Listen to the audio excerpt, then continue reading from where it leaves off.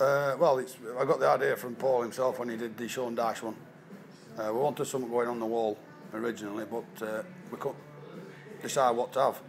So Paul come up, we run through some ideas, and we decided on the Jimmy Mack.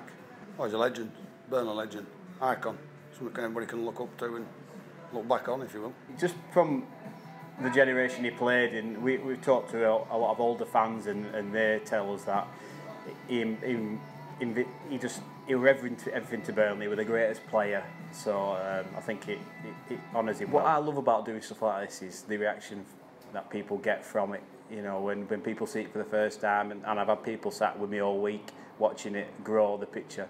But when you get people's reactions and people shaking your hand, and that's it makes it worth it.